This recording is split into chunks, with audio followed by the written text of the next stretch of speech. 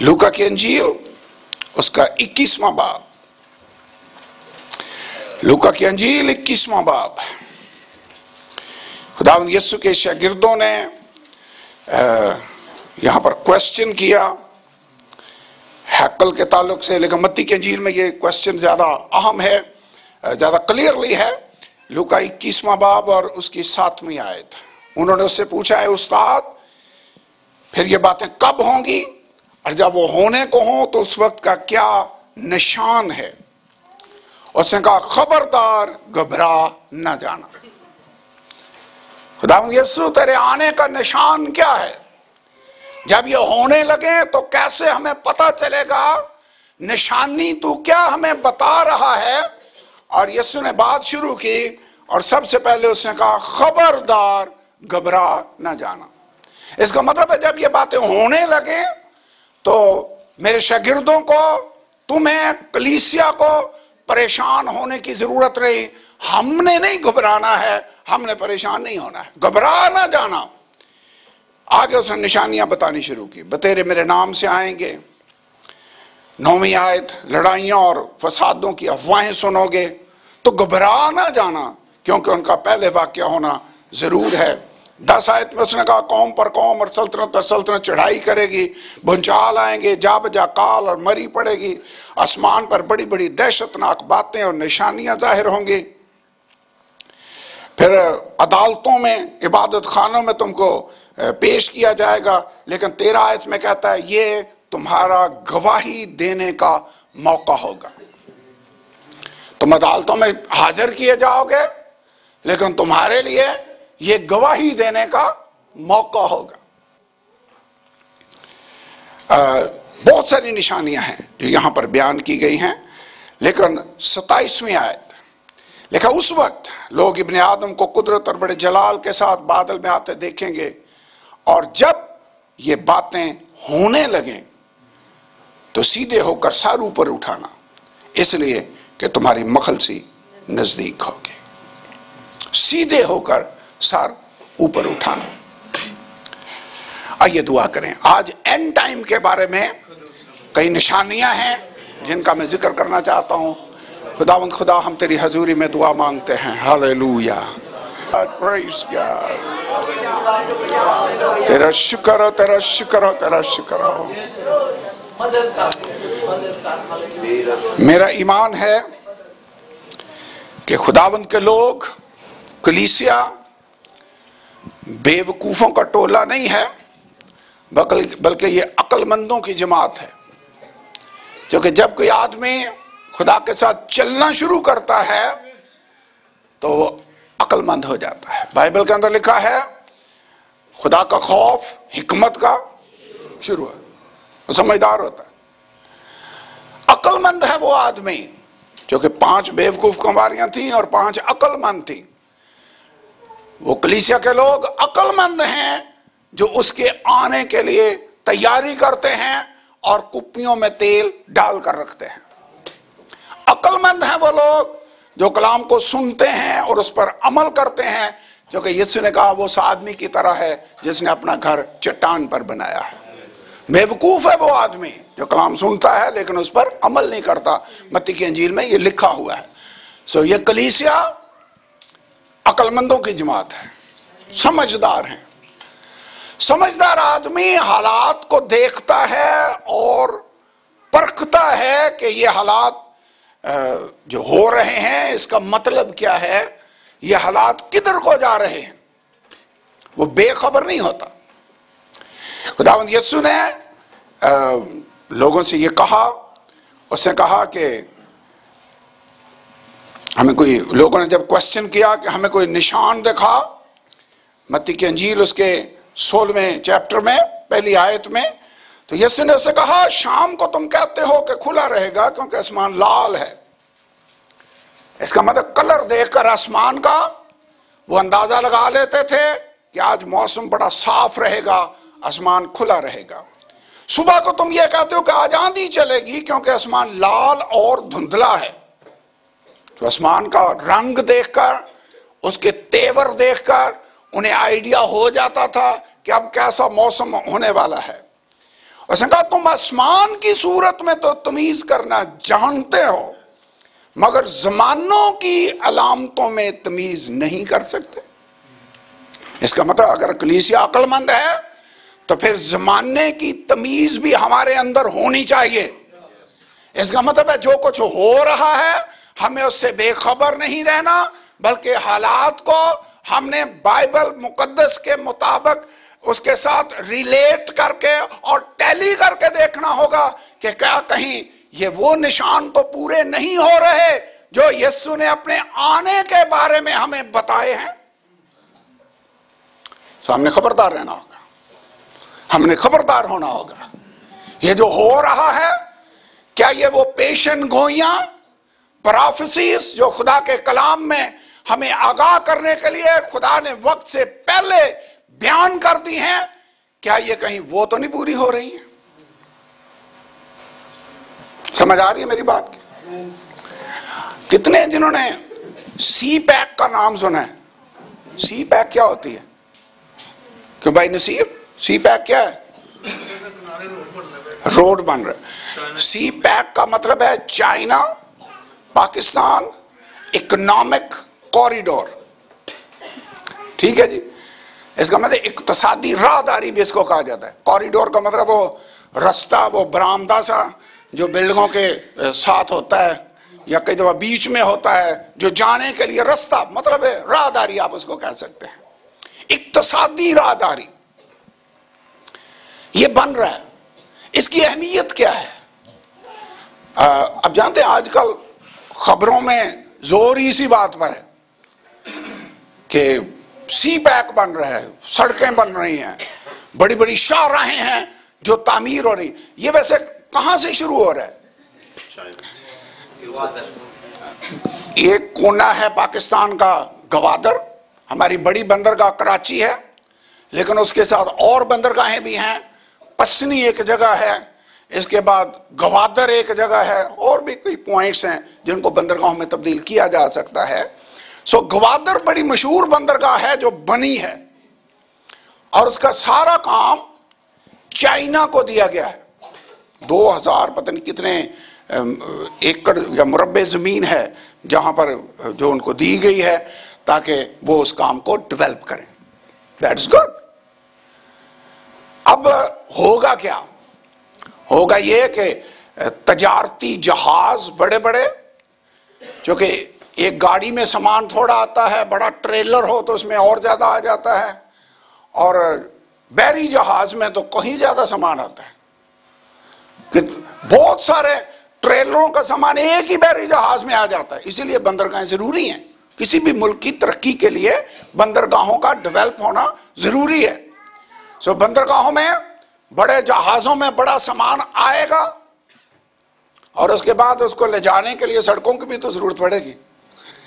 اور اس سامان کو دیگر جگہوں پر اور دیگر ملکوں تک پہنچانے کے لیے جو رستے بنائے جا رہے ہیں، اس کو اقتصادی راہ داری کہا جا رہا ہے۔ سمجھ آگی یہ سی پیک ہے کیا چیز؟ چائنا، پاکستان کے تعاون سے جو اقتصادی راہ داری بن رہی ہے، سڑکیں بن رہی ہیں۔ پہلے موٹر ویز بنی تھی، اب کئی جگہوں پر جیسے یہ کراکرم ہائی وے ہے، ہماری جو اسلام آباد سے جا رہی ہے در خنجراب کی طرف، جو چائنا کا بارڈر ہے، سوست بارڈر ہے، اور اس سے آگے خنجراب تک یہ سڑک جائے گی۔ اب چائنا سے کو سڑک کے ذریعہ سے ملایا جا رہا ہے۔ یہی سی پیپ یہاں سے پشاور اور پشاور سے لنڈی کوتل اور اس کے بعد اس رستے سے افغانستان کے ساتھ بھی ملائی جا رہی ہے۔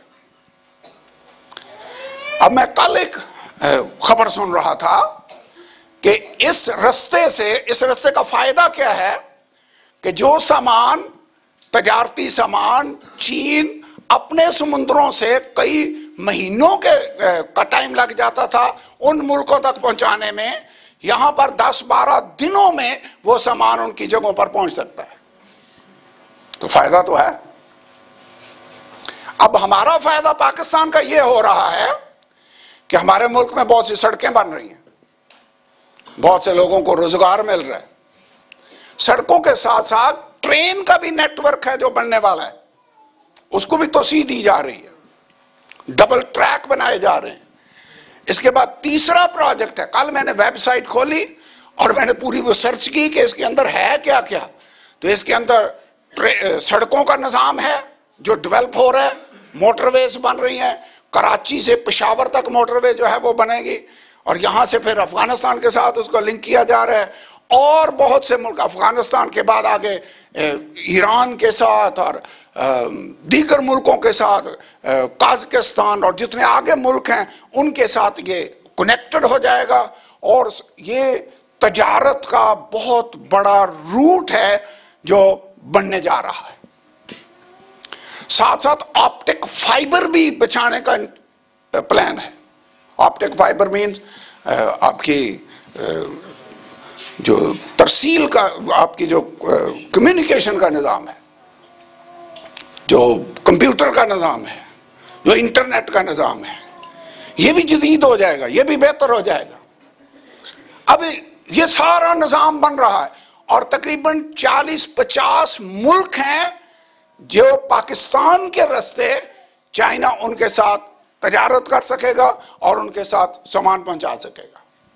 اب بنیادی مقصد تو اس کا یہ ہے لیکن آپ سوچ رہے ہوں گے کہ آج میں نے آپ کو کیا پڑھانا شروع کر دیا سی پیک یہ تو آپ سارا ہفتہ سنتے ہیں۔ لیکن میں یہ چاہتا ہوں کہ ہم اس کو دیکھیں کہ بائبل مقدس کے مطابق اس کی کوئی اہمیت ہے، کوئی ریلیونس ہے اس کی؟ ایک آیت میرے ساتھ پڑھیں۔ ایک جنگ ہونے والی ہے دنیا کے اندر۔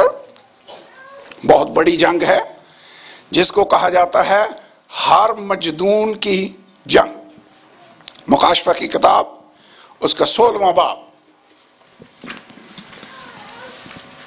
سولہواں باب اور تیرہ آیت بارہ آیت۔ اور چھٹے نے اپنا پیالہ بڑے دریا یعنی فرات پر الٹا اور اس کا پانی سوکھ گیا۔ یہ دریائے فرات، آپ جانتے ہیں کہاں پر ہے؟ عراق میں۔ عراق کے اندر دو بڑے دریا ہیں جو بہتے ہیں، ایک کا نام دجلہ ہے اور دوسرے کا نام فرات ہے۔ اور یہ دونوں دریا پورے ملک میں سے گزرتے ہوئے خلیج فارس میں جا کر گرتے ہیں۔ کلیئر ہے؟ سو دجلہ اور فرات۔ تو یہ ہوگا یہ کہ چھٹے نے اپنا پیالہ دریا فرات پر الٹا اور اس کا پانی سوکھ گیا۔ کیوں سوکھ گیا؟ تاکہ مشرق سے آنے والے بادشاہوں کے لیے راہ تیار ہو جائے۔ راہ تیار ہو رہی ہے جی۔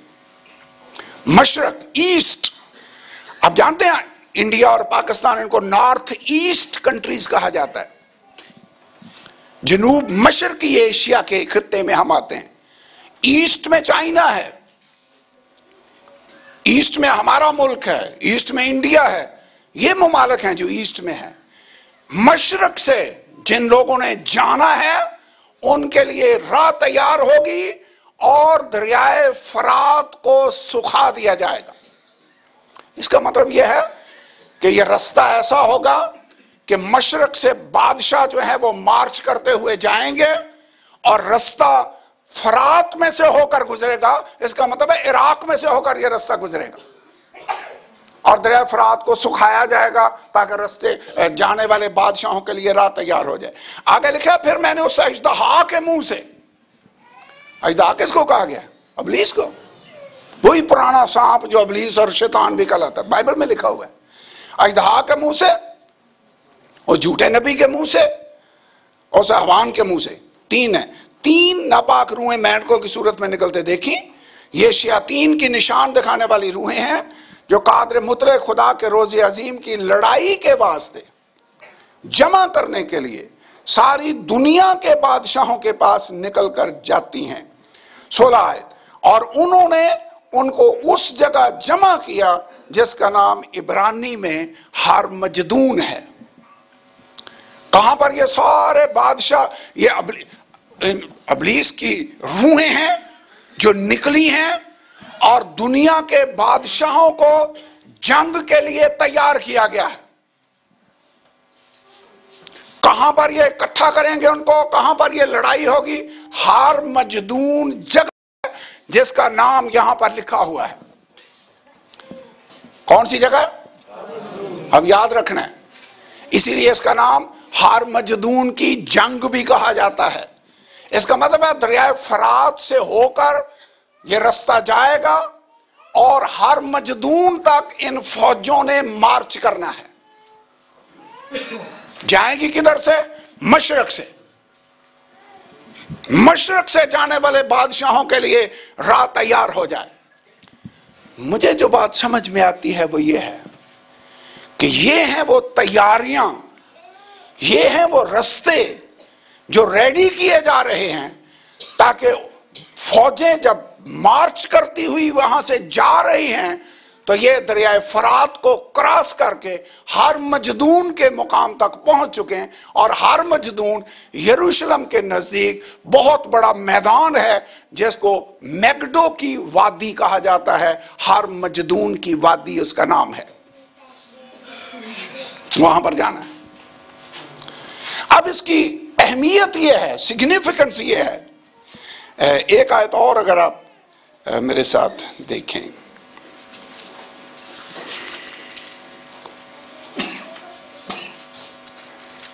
مکاشوہی کی کتاب۔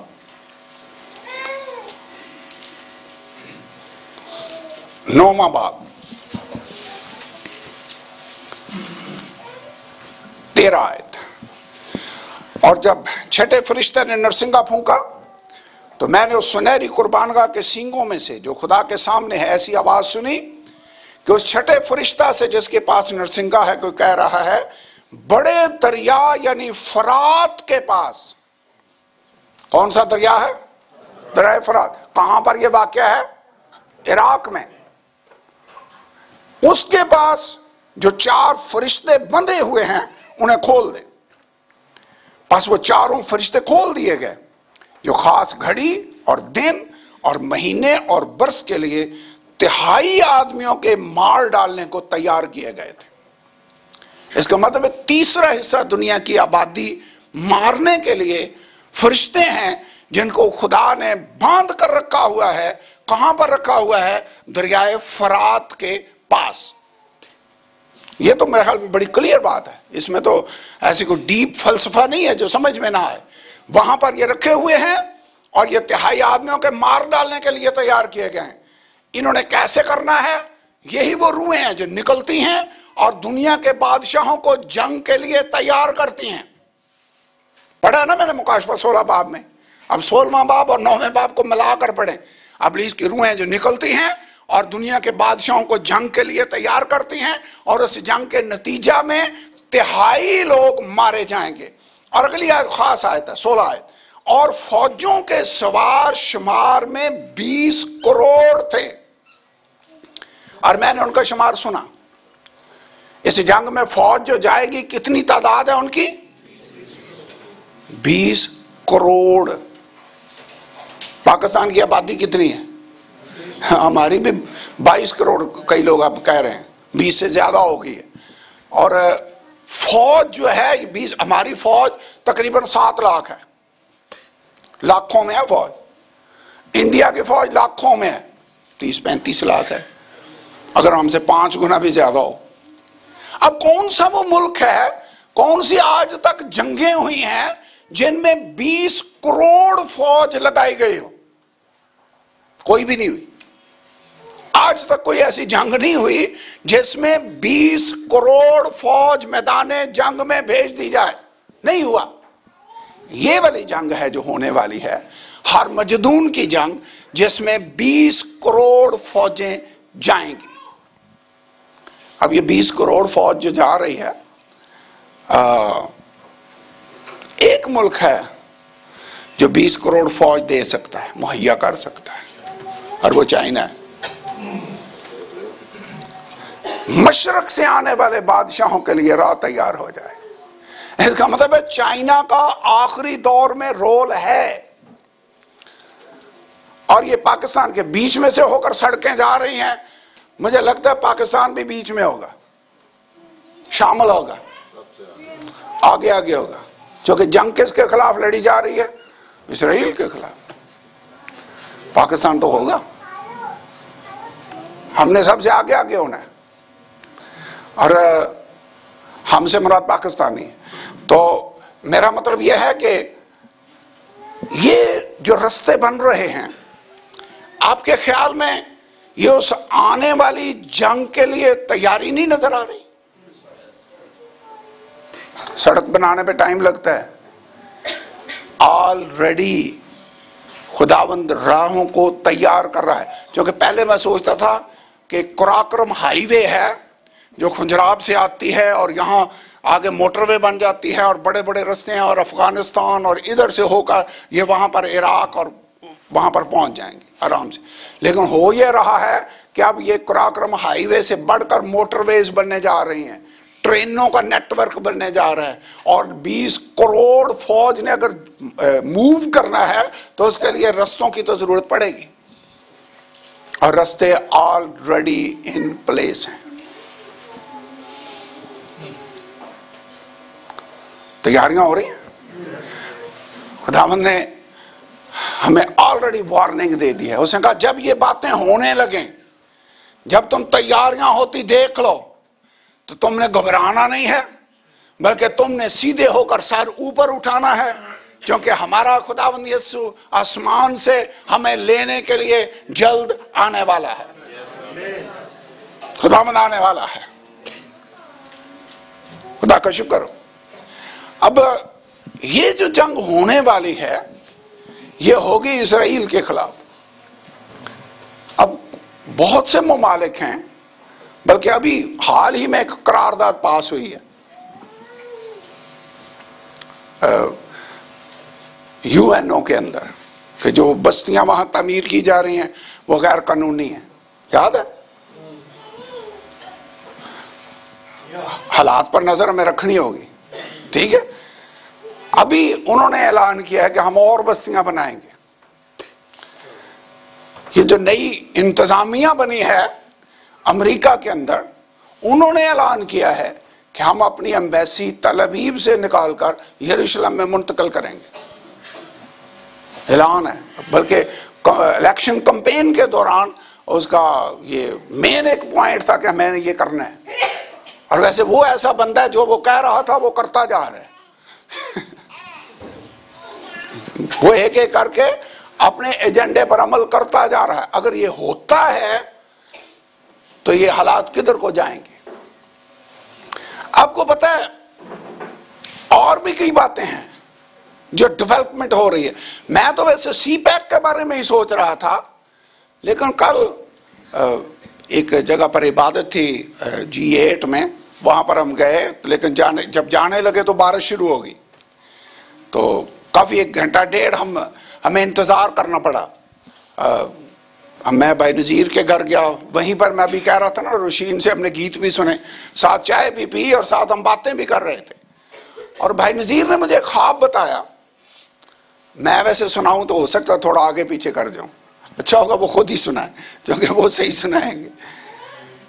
پریز گاڈ کیونکہ ایک سے جب بات دوسرے تک جاتی ہے تو اس میں تھوڑی بہت تبدیلی ہو جاتی ہے۔ میرے خواب ڈرونے ہوتے ہیں۔ ڈر تو نہیں رہے۔ میرے گھر والے اکثر کہتے ہیں، ڈیڈی، آپ تو خواب نہ ہی سنایا کریں۔ آپ تو جب بھی خواب سناتے ہیں، ہمیں ڈرانا شروع ہو جاتا ہے۔ پچھلے دنوں میں دعا کر رہا تھا، اور یہ ساری جو سچویشن اور آج کل ڈیولپ ہو رہی ہے، جیسے بزرگ کہہ رہے ہیں، ویسے یہ میرے مائنڈ میں نہیں تھی۔ ہاں حالات پر تو ظاہر ہے، بندہ اخبار پڑھتا ہے میڈیا سنتا ہے۔ لیکن میں دعا کر رہا تھا رات کو اور اچانک میری جب آنکھ لگی تو میں کیا دیکھ رہا ہوں کہ میں اور میرے بزرگ جو ہیں، ہم فلسطین کی سرحد ہے اور وہاں پر ہم جا رہے ہیں۔ گاڑی یہ ڈرائیو کر رہے ہیں بزرگ اور میں ان کے ساتھ بیٹھا ہوں۔ اور میں ان کو کہہ رہا ہوں کہ یہ کون سی جگہ ہے؟ تو یہ مجھے بتا رہے ہیں کہ یہ فلسطین کا بارڈر ہے، ادھر یہ سارا اور ادھر یہ ساری وہ چیزیں ہیں۔ اور اس طرح میں دیکھ رہا ہوں تو ایک باغ ہے وہاں، اور اس باغ کے اندر جھنڈ جھنڈ سمجھتے ہیں نا؟ ایسے درخت جو نیچے کی طرف جھکے ہوئے ہوں اور انہوں نے جھنڈ بنایا ہو۔ تو اس طرح کے بڑے خوبصورت درخت ہیں اور میں ان کو دیکھ رہا ہوں اور میں کہہ رہا ہوں، درخت تو بہت اچھے ہیں۔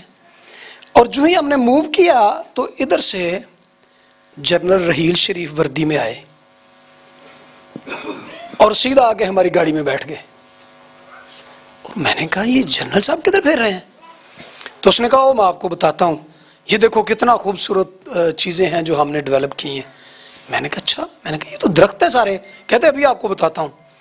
اور گاڑی میں بیٹھے بیٹھے اس نے ایک آرڈر پاس کیا اور ان درختوں کے نیچے مزائل سسٹم نصب تھا۔ بڑی بڑی مزائل پھینکنے والی جو اینٹی uh, جو چیزیں ہوتی ہیں کرافٹس پھینکنے والی مزائل وہ چیزیں ہیں۔ اور ان درختوں سے مزائل نکلے اور بڑی سپیڈ سے انہوں نے ان کو چلایا۔ اور جو ہی مزائل چلنا بند ہوئے، تو ساتھ ہی ہم فلسطین کی گلیوں میں تھے۔ اور وہاں انہوں نے ایک اعلان کیا کہ اب سب لوگ اسلحہ لے کر باغو کیونکہ جو مین کام تھا وہ ہم نے کر دیا ہے۔ اور سب لوگ جنگ کے لیے جاؤ اور موٹر سائیکلوں پر سائیکلوں پر اور پیدل۔ میں نے لوگوں کو اسلحہ سمیت اسرائیل کی طرف جاتے ہوئے دیکھا۔ اور میں بزرگوں کو یہ کہہ رہا تھا، میری آنکھ کھلی تو میں نے کہا یہ تو بڑی عجیب سی بات ہے جو میں نے دیکھی ہے۔ اور بہت ساری باتیں جو خدا نے اس سے پہلے ہمیں دکھائیں، وہ بالکل ہنڈریڈ پرسنٹ پوری ہوئیں۔ لال مسجد کے واقعات اور بہت ساری چیزیں جو امریکہ کا ٹاور گرا، مجھے پتا چھ مہینے پہلے میں نے بزرگوں کو بتایا کہ اس طرح میں نے خواب دیکھا ہے، جو ورلڈ ٹریڈ سینٹر جو تباہ ہوا تھا۔ سو یہ جو چیز، جو خواب خدا مجھے دے اور اس کے بعد وہ مجھے بھولے نا، مجھے سمجھ لگ جاتی ہے کہ اس کی، اس کا حقیقت کے ساتھ کتنا قریبی تعلق ہے۔ سو ہمیں ہوشیار رہنے کی ضرورت ہے۔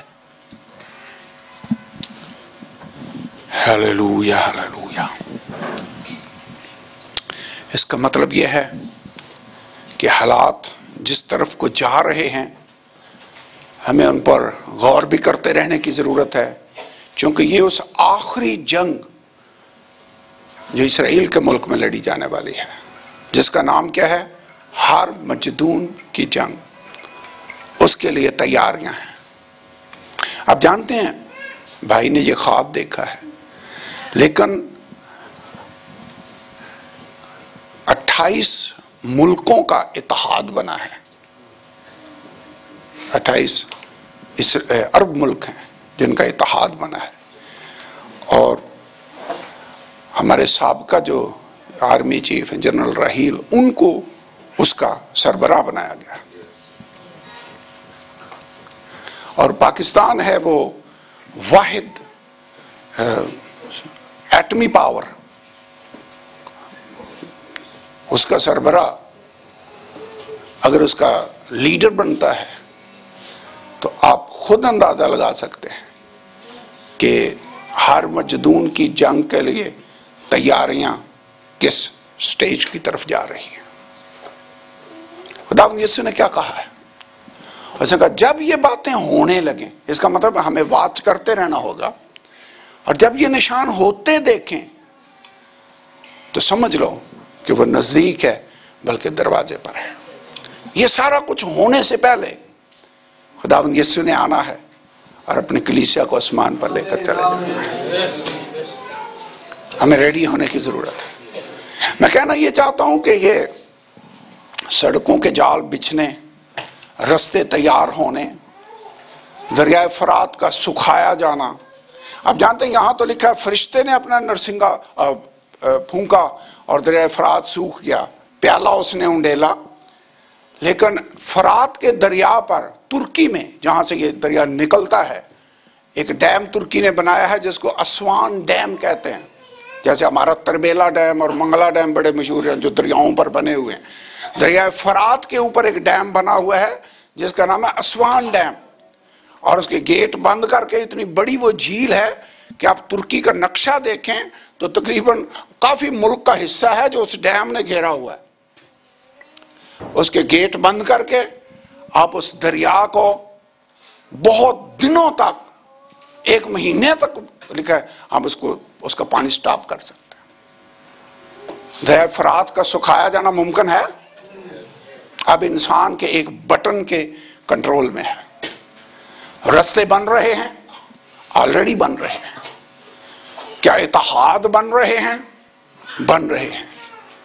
اور ہمیں، میرے خیال میں اب ٹائم ہے کہ ہم دنیا کے کاموں کی طرف اتنے ابلیس ہمیں ڈسٹریکٹ کرنے کی کوشش کرتا ہے۔ ہمیں دنیا کے کاموں میں اتنے نہیں الجھ جانا کہ ہماری نظریں خداوند یسو سے ہٹ جائیں۔ اس نے کہا، جب یہ باتیں ہونے لگیں تو ادھر ادھر تم نے نہیں دیکھنا، گھبرانا بھی نہیں، پریشان بھی نہیں ہونا، بلکہ سیدھے ہو کر سار اوپر اٹھانا ہے، کیونکہ تمہاری مخل سی نزدیک ہوگی۔ میں تو ایسے یہ فیل کرتا ہوں کہ امریکہ میں جو حالیہ الیکشن ہوا ہے اور صدر ٹرمپ کا اقتدار میں آنا، یہ پروفسی کے اعتبار سے بڑا عام ہے۔ اور یہ جو اینڈ ٹائم کے واقعات ہیں، ان میں بہت تیزی کے ساتھ واقعات ہوں گے۔ بہت تیزی آ جائے گی۔ اور اگر جیسا بائبل میں پیشن گوئی ہے ہیکل بنتی ہے اپنی جگہ پر، تو یہ ٹریگر ہوگا۔ جہاں سے حالات شروع ہو جائیں گے۔ ہمیں دعا کرنے کی ضرورت ہے۔ ہمیں اپنے آپ کو ریڈی کرنے کی ضرورت ہے۔ اب ایک بات اور یہ تو اس لحاظ سے پیشن گوئیاں ہیں۔ ویسے خدا کا کلام سچا ہے؟ جو باتیں مسیح کے آنے کے بعد سو سال تک، یا ہنڈریڈ اے ڈی میں مکاشفہ کی کتاب لکھ دی گئی۔ دو ہزار سال پہلے جو باتیں لکھی ہوئی ہیں، وہ آج ہماری آنکھوں کے سامنے پوری ہو رہی ہیں۔ اور آپ خبریں سنیں یا اخبار پڑھیں تو ایسے لگے جیسے بائبل کی آیتیں پڑھ رہے ہیں۔ تو ثابت نہیں ہوتا کہ خدا کا کلام سچا ہے۔ خدا کا کلام سچا ہے۔ ایک اور پیشن گوئی ہے جس پر میں چاہتا ہوں کہ ہم تھوڑی دیر کے لیے غور کریں۔ لوکا کی انجیل، اس کا سترہ باب، سیونٹینتھ چیپٹر ہے۔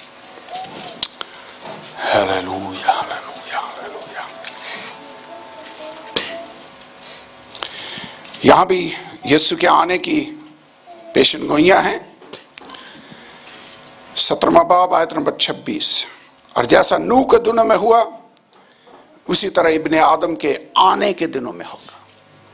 اس کا مطلب ہے نو کے زمانے کے حالات کو سٹڈی کر لیں، پیدائش کی کتاب میں اور مسیح کے آنے کے حالات کو آج کے دور میں سٹڈی کر لیں، اگر کمپیریزن بنتا ہے تو سمجھ لو خداوند یسو آنے والا ہے۔ کلیئر سمپل سی بات ہے۔ جیسا نو کے دنوں میں ہوا تھا، اسی طرح ابن آدم کے آنے کے دنوں میں بھی ہوگا۔ لوگ کھاتے پیتے تھے، ان میں بیاہ شادی ہوتی تھی۔ اس دن تک جب نو کشتی میں داخل ہوا، طوفان نے آ کر سب کو ہلاک کیا۔ جیسا لوت کے دنوں میں ہوا تھا کہ لوگ کھاتے پیتے، خرید و فروخت کرتے، درخت لگاتے اور گھر بناتے تھے، لیکن جس دن لوت صدوم سے نکلا، آگ اور گندک نے آسمان سے برس کر سب کو ہلاک کیا۔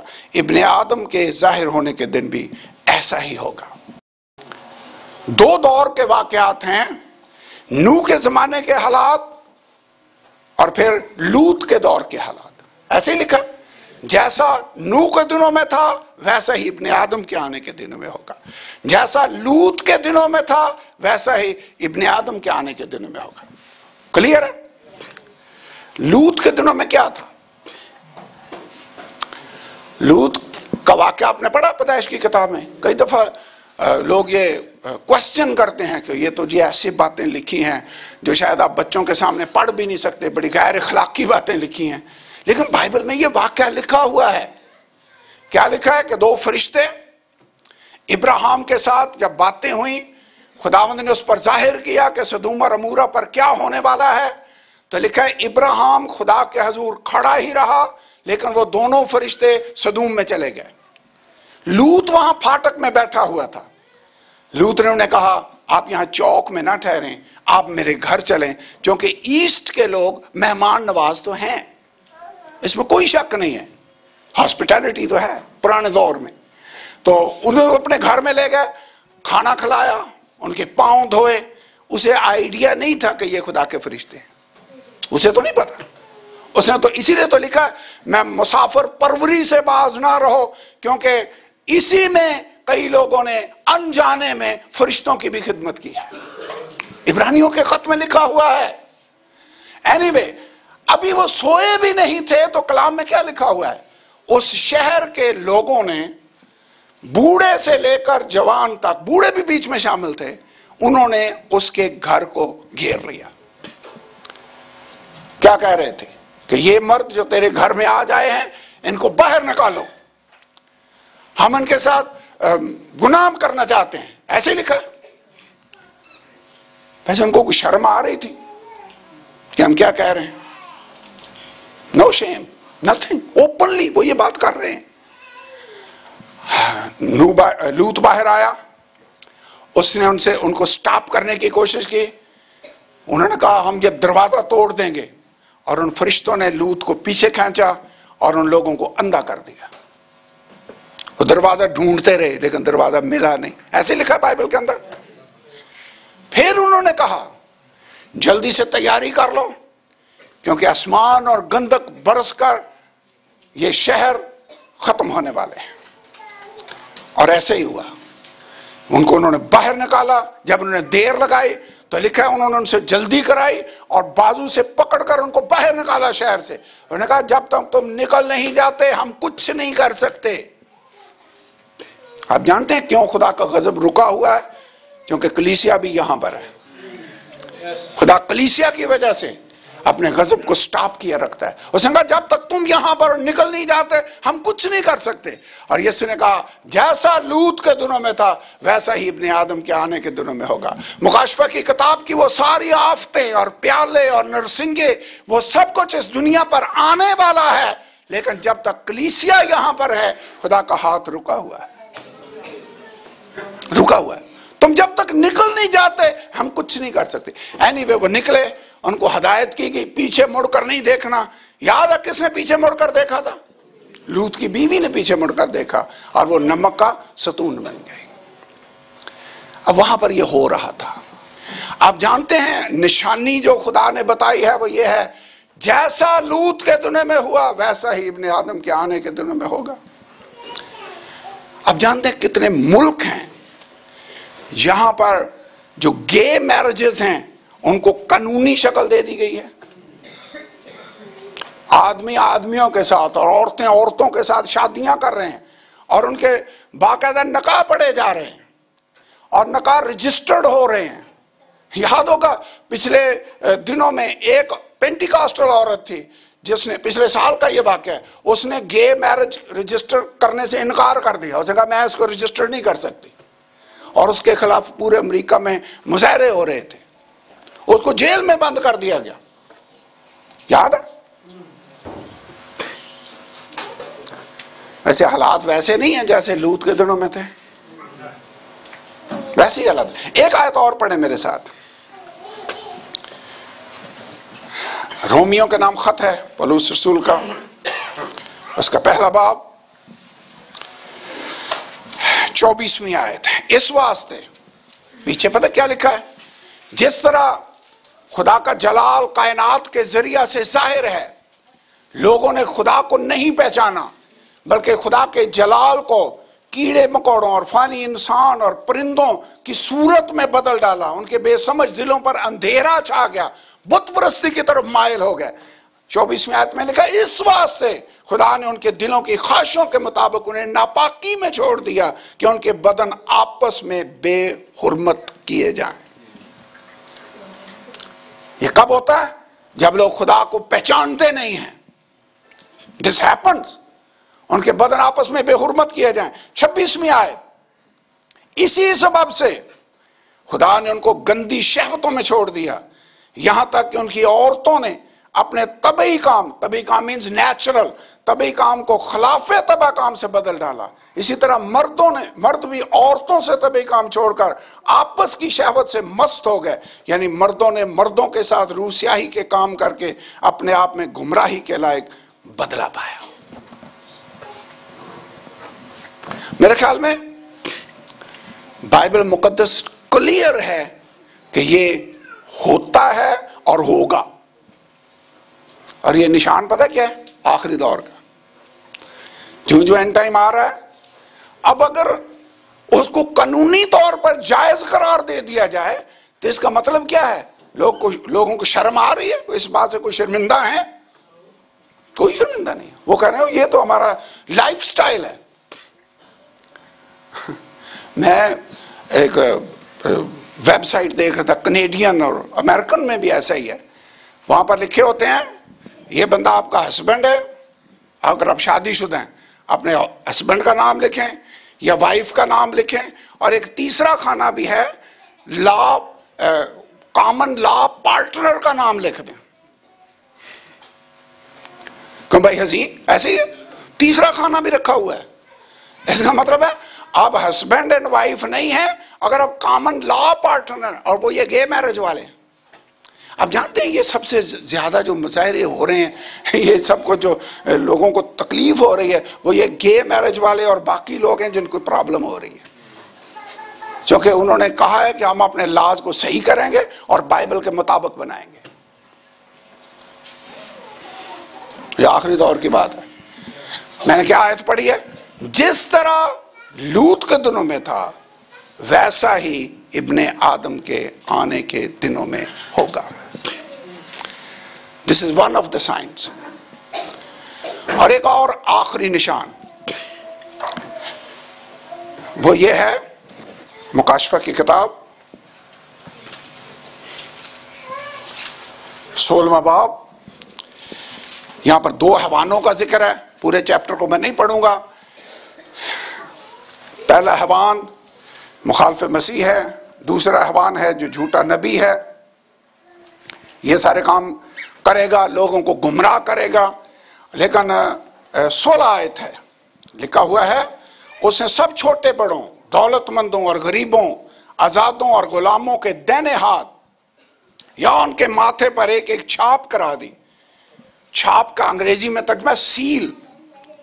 چھاپ کرا دی، تاکہ اس کے سوا جن پر نشان یعنی اسے حوان کا نام یا اس کے نام کا عدد ہو اور کوئی خرید و فروخت نہ کر سکے، حکمت کا یہ موقع ہے، جو سمجھ رکھتا ہے وہ اسے حوان کا عدد گن لے، کیونکہ وہ آدمی کا عدد ہے اور اس کا عدد چھ سو چھیاسٹھ ہے۔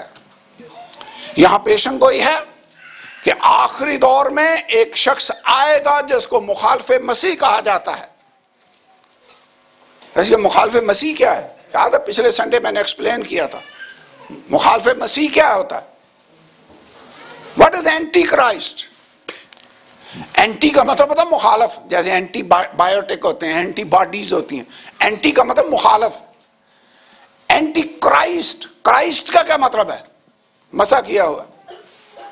مخالف ہے مسیح. اس کا مطلب جس چیز کو بھی خدا مسا کرتا ہے، ابلیس اس کی مخالفت کرے گا. خدا بند یسو مسا کیا ہوا تھا. یاد ہے میں نے حوالہ پڑھا تھا؟ داؤد کو جو ہی مسا کر کے اسرائیل کا بادشاہ بنایا گیا فلسطینوں نے چڑھائی کر دے اور حملہ شروع کر دیا۔ مخالف مسیح، کلیسیا کی کیوں مخالفت ہے؟ جو کہ خدا نے اس جماعت کو مسا کیا ہے۔ خدا کا روح مجھ پر ہے، اس نے مجھے مسا کیا ہے کہ غریبوں کو خوشخبری سناؤ مسا مسا سے ابلیس ڈرتا کیوں ہے؟ کیونکہ وہ جانتا ہے کہ میرا جوا مسا کے سبب سے ٹوٹ جاتا ہے۔ یہ سایہ کے کتاب میں لکھا ہوا ہے۔ ابلیس نے بڑا لوگوں کو باندھ کر رکھا ہو۔ جب خدا کا مسا نازل ہوتا ہے، ابلیس کا جوا ٹوٹ جاتا ہے۔ اس کا ہولڈ قائم نہیں رہ سکتا۔ اس لیے وہ مسا کی مخالفت کرتا ہے۔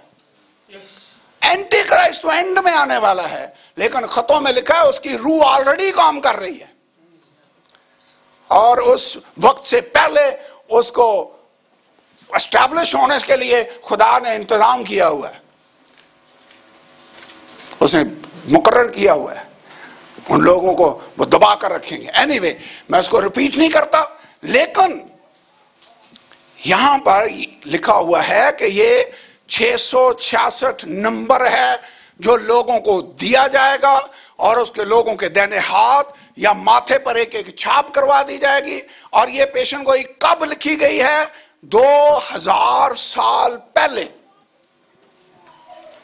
ویسے آج کل نمبرنگ سسٹم ہے، لوگوں کو نمبر جشو کیا جا سکتا ہے، کیا جا رہا ہے۔ آپ میں سے ہر ایک، ابھی بچہ پیدا بھی نہیں ہوتا، اس کا شناختی کارڈ نمبر جو ہے وہ بے فار میں لکھ دیا جاتا ہے۔ اٹھارہ سال کا نہیں ہوا، پھر بھی اس کا نمبر ایشو ہو جاتا ہے۔ اٹھارہ سال سے پہلے، پیدا ہونے سے پہلے نہیں، اٹھارہ سال کا ہونے سے پہلے۔ بے فارم میں اندر آج ہو جاتا۔ نمبر اس کا آلریڈی ہوتا ہے۔ ویسے یہ نمبرنگ سسٹم کیسے آیا ہے؟ اب تو ایزی ہے کمپیوٹر کی مدد سے۔ ہر آدمی کو نمبر دیا جاتا ہے، اس کا ریکارڈ رکھا جاتا ہے اور ہمارے ملک میں جو ادارہ یا پورے نمبرنگ سسٹم کو اور کمپیوٹرائز شناختی کارڈ کو کنٹرول کرتا ہے، اس کو کہتا ہے NADRA. National database authority ہے۔ نادرا میں ہر بندے کا ریکارڈ ہے۔ ویسے ہر بندے کا ریکارڈ ہونا اور پھر اس کو نمبر سلٹن ایشو کرنا، یہ بائبل مقدس میں دو ہزار سال پہلے لکھا گیا تھا، جب کمپیوٹر ابھی بنا بھی نہیں تھا۔ لیکن اب کمپیوٹر کی مدد سے ہر آدمی کو نمبر دیا جا رہا ہے۔ آج کل تو انہوں نے شناختی کارڈ جو کمپیوٹرائز بنایا ان کے نیچے وہ ایسے ڈاٹ ڈاٹ سے لگتے ہیں۔ اس کو مشین پر ایسے سوائپ کرتے ہیں، آپ کی پوری انفارمیشن سکرین پر ہوتی ہے۔ ایسے ہی ہے؟ نظام ہے؟ اب اس کو بھی آگے ایڈوانس فارم میں لا رہے ہیں۔ ایک آر ایف آئی ڈی چپ ہے، چپ چھوٹی سی بنی ہے۔ بالکل چھوٹی بال کی طرح کی۔ چاول کے دانے کی طرح کی بلکہ۔ چھوٹی سی۔ سرجری کرو۔ یہاں سکن کے اندر اس کو رکھ دیتے ہیں۔ آپ وہ اپنا ہاتھ سکینر مشین پر رکھیں۔ آپ کی پوری انفارمیشن سکرین پر آئے گی کہ اس کا نام کیا ہے، کہاں یہ رہتا ہے، اس کا پاسپورٹ نمبر کیا ہے، آئی ڈی کارڈ نمبر کیا ہے، ساری انفارمیشن۔ اس کارڈ پر رکھنے کی بجائے آپ کے ہاتھ میں بھی منتقل کی جا سکتی ہے اور مائکرو چپ کی مدد سے یہ پاسبل ہے۔ بلکہ کئی جگہوں پر آلریڈی یہ سسٹم شروع ہو چکا ہے۔ خدا کا کلام پورا ہو رہا ہے۔ بائبل میں دو ہزار سال پہلے جب کمپیوٹر کا نام و نشان نہیں تھا، یہ پیشن گوئی موجود تھی کہ ایسے چھ سو چھیاسٹھ نمبر ہر آدمی کو ایشو کیا جائے گا۔ آگے لکھا حکمت کا یہ موقع ہے۔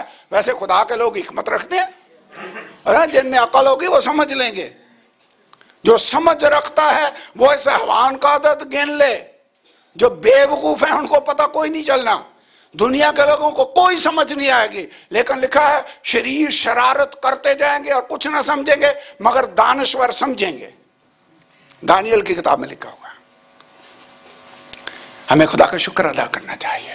خدا کے کلام نے ہمیں وقت سے پہلے آگاہ کر دیا ہے اور اس نے کہا، جب یہ باتیں ہونے لگیں تو تمہیں گھبرانا نہیں ہے، تم نے سیدھے ہو کر سر اوپر اٹھانا ہے، اس لیے کہ تمہاری مخلصی نزدیک ہوگی۔ یہ باتیں میں آپ کو ڈرانے کے لیے نہیں کر رہا آپ کو آگاہ کرنے کے لیے کر رہا ہوں۔ کہ آئیے خداون یسو کے آنے کے لیے ریڈی ہو جائیں۔ لیکن ایک آیت اور ہے، آخری پوائنٹ امال کی کتاب۔ دوسرا باب۔ سولہ آئے امال دوسرا باب، آیت نمبر سولہ۔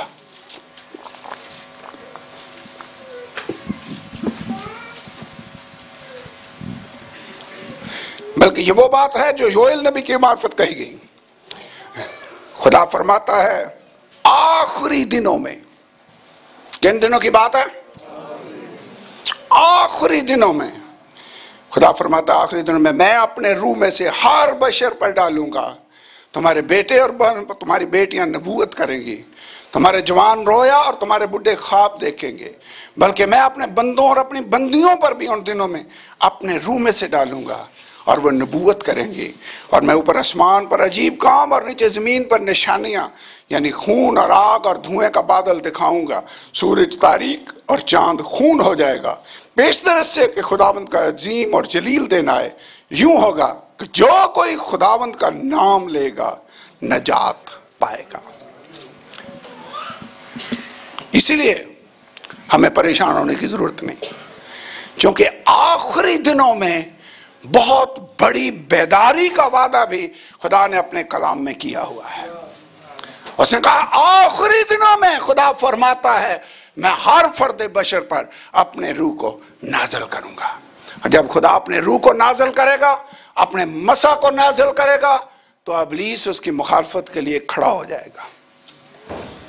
دیٹ از دا ریزن جہاں مسا ہے، اس کی مخالفت ہوگی۔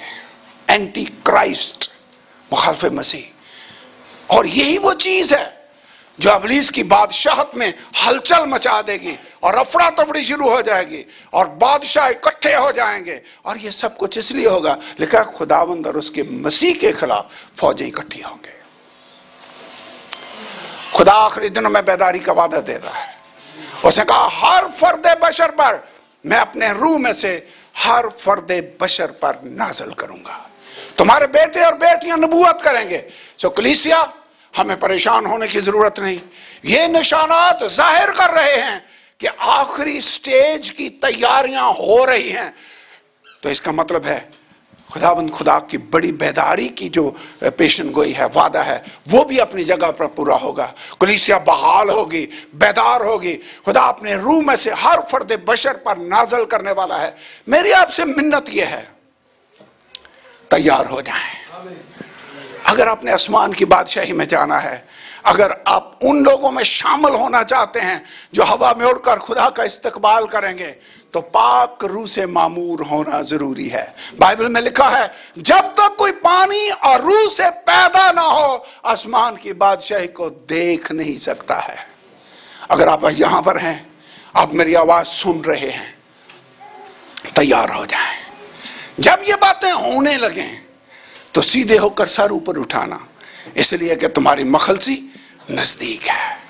خدا یسو آنے والا ہے۔ یہ راہوں کا تیار ہونا اس جنگ کی پریپریشن ہونا یہ نمبرنگ سسٹم کا آنا یہ سیم سیکٹرجز کا ہونا یہ سب باتیں ظاہر کر رہی ہیں۔